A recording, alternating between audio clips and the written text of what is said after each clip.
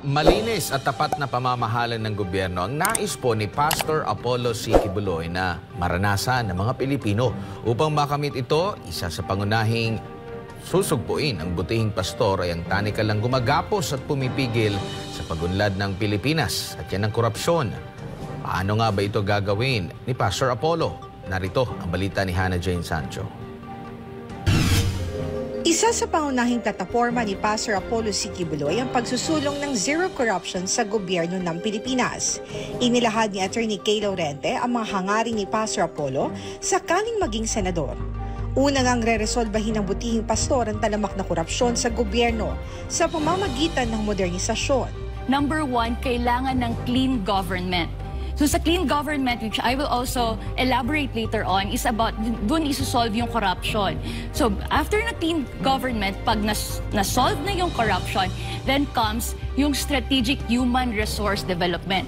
So i-enhance niya yung mga talents, yung mga skills ng mga Filipino workers, kahit yung mga OFWs, that they will opt to work here in the Philippines. And after that, pag na, na-develop na yung mga talents and skills ng Philippine, mga Filipinos, then comes the third strategy for the modernization and that is yung kumbaga yung performance management naman yung kung ano yung doon nagkakaroon ng minimum standards para sa lahat ng mga government employees. Ano yung mga minimum standards? Kailangan maging accountable sila. Kailangan maging, kumbaga, zero corruption, dyan din papasok, and transparent din sila.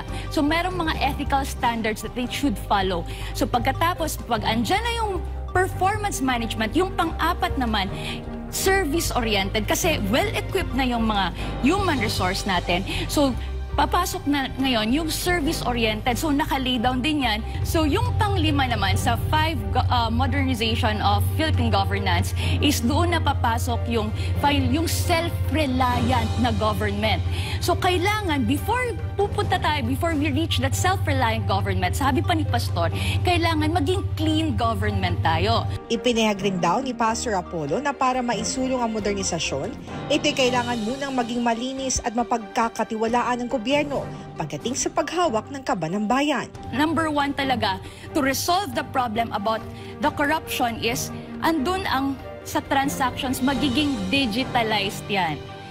So, sa pag-digitalization na, kumbaga, sabi pa ni Pastor, kasi nga strict ang anti-corruption practices na measures natin, pag digitalize na yan, well, whenever you have uh, government transaction. For example, application or renewal of licenses or magbayad ka ng taxes or even magbayad ka ng mga penalties mo kasi nga may ano ka, may na, na problema sa, kasi nag-overspeeding ka. Lahat yan digitalize. So hindi na dadaan sa tao yung pera. Diretso siya sa kaban ng bayan. That is how you prevent also corruption. So diretso na yung bayad sa kaban ng bayan. Nais ding tanggalin ni Pastor Apollo ang liquidation by certification at palitan ng liquidation by receipt kung saan hahanapan na resibo ang bawat politiko sa gobyerno. Number one din yung liquidation by uh, liquidation by certification ire-repeal na yan, tatanggalin na talaga, i-abolish na yan. So what's happening right now, uh, we have this liquidation by certification, that's resolution number 10, wherein yung Senate at saka Congress, pwede sila mag-liquidate lang sa lahat ng mga expenditures nila through certification. Pero that will be repealed. Sabi pa ni Pastor, dapat talaga liquidation by certification. So lahat ng nagastos, lahat ng expenditure, dapat naka-itemize yan. Saan mo ginamit? Para saan? So Ganon ka-strict dapat ang pagdat pag uh, when when we go to the liquidation by certification i-abolish na siya. So dapat liquidation by receipt. Resibo na siya. Ang mga liquidation na ito ay susuriin naman ng Truth Commission na isang anti-corruption commission. Ito ay bubuin ng mga ordinaryong Pilipino gusto kasi ni Pastor Apollo na mismong mga Pilipino ang sumuri kung saan ginastos ng mga leader ng bayan ang pera mula sa buwis ng mamamayan.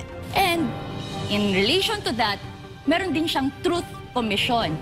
So once may liquidation by certification na find out na, oy, may problem tong sa ano ah, dito sa liquidation, niya, kulang-kulang. So, ang mag, may magbubuo ng Truth Commission or Anti-Corruption Commission. So, yung Truth Commission na yon, they will be given the power to investigate and the power also to prosecute. Sila din yung magagather ng evidence.